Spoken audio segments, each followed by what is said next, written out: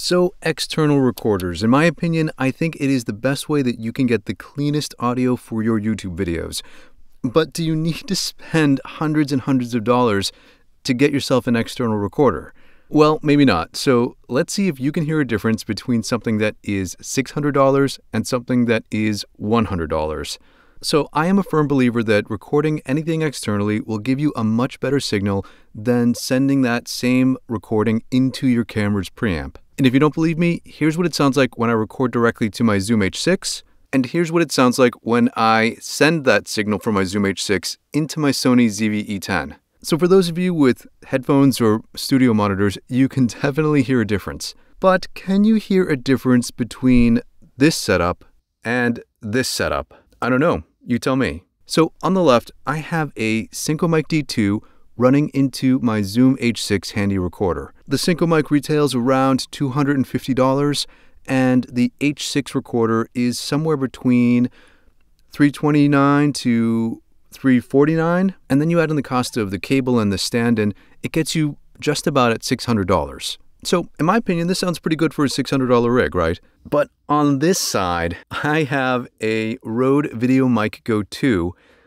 running via the USB-C output into my Samsung Galaxy S10. And I am recording on my Android device in an app called RecForge 2. I am equidistant to both of these mics, so the setup on the right cost me probably a little bit more than 100 bucks. The Rode VideoMic Go 2 is like $99, and I already have a smartphone. And then you add in the cost for the stand, which is exactly the same in these two rigs, and you have a $500 difference between the left side and the right side. And I'll tell you what, after listening back to these, I am really hard pressed to hear a $500 difference. So if they sound really close to each other, what is the Where's the difference in cost? Well, for one, the Zoom H6 has four XLR inputs. It can do multi-track recording, and it has a bunch of built-in features and an interchangeable capsule system that gives you a bunch of different mic options. And the Synco Mic D2 is a quality hypercardioid shotgun mic. So these are probably two really nice prosumer level um, pieces of equipment. But if we look over here at Rode's latest offering in the Rode VideoMic Go 2,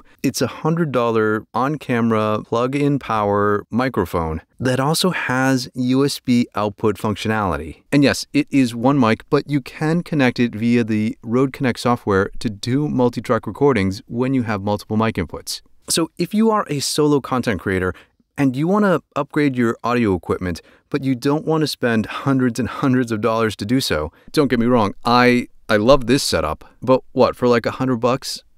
This setup on the right seems to be able to suit a solo content creator just as well. So let me know down in the comments below, what do you think about spending $600 versus $100? And can you hear a difference in audio? I'm always an advocate for making smart purchases, and most of the time I have the mentality of you get what you pay for. And if you are an audio professional like I am, yeah, that might make a difference. But if you are an everyday content creator, and the majority of your audience is watching your videos on their smartphone through their built in speakers, most likely they will not be able to hear a difference between this and this. And so, better sounding audio doesn't need to necessarily break the bank. Arming yourself with a little bit of audio knowledge can go a long way. So, thanks for listening. Tell me which one you prefer in the comments below, and we'll talk again real soon.